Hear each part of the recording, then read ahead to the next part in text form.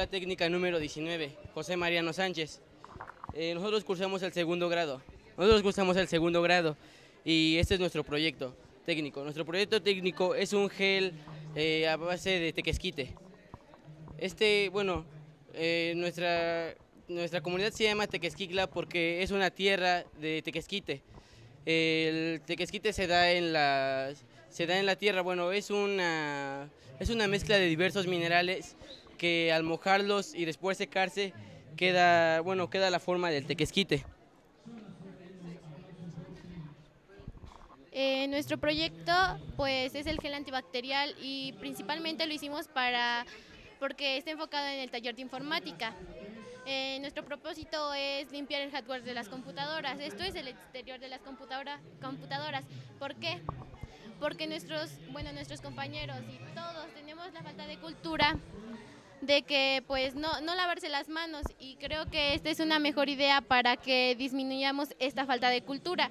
Y desde que lo hemos puesto en práctica hemos visto que pues sí es un gran cambio. Y pues como les decía mi compañero no solo es este ese nuestro propósito sino es bueno, el objetivo de nuestro proyecto es implementar el uso de la buena materia prima que tenemos en nuestra comunidad, la cual, como ya les dijimos, es el tequetzquite.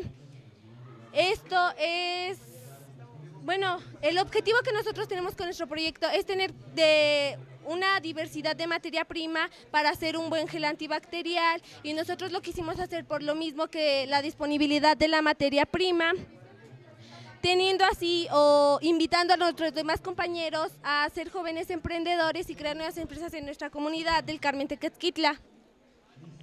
Bueno, eh, nuestro gel antibacterial lo dimos a conocer por medio de una página web, la cual está, bueno, la pusimos aquí, que al igual que por las redes sociales, también hicimos la etiqueta, lo que de los productos, de dónde proviene cada producto, bueno, cada, cada material del cual nosotros utilizamos. Nuestro gel antibacterial también es biodegradable, no daña al medio ambiente, es muy útil y en la distribución nosotros lo quisimos dar a conocer al comprador y satisfacer las necesidades.